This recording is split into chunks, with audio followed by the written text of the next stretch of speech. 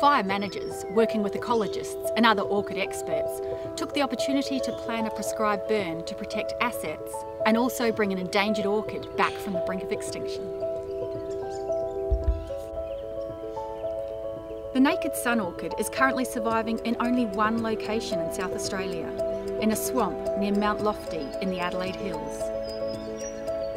The population is just hanging in there because, in the absence of fire, its habitat is gradually being overgrown by dense native coral fern.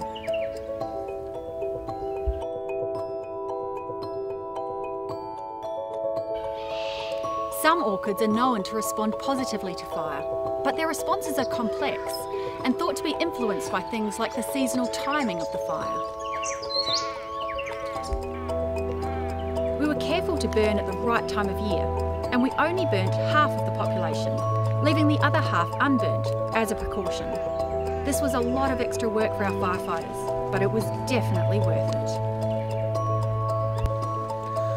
We're working very closely with the Native Orchid Society of South Australia who are helping us monitor the orchid and in particular we're interested in seeing how the orchid is doing in the area that which has been burnt compared with the area that hasn't been burnt and the results we've had to date are very pleasing.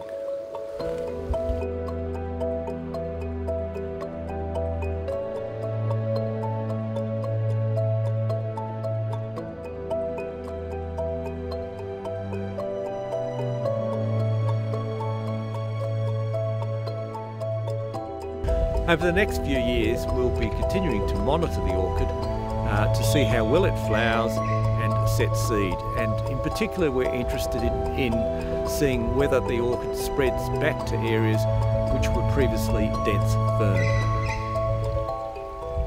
This prescribed burn not only reduced fuel to protect lives and property, but it also has been a real win for threatened plant conservation.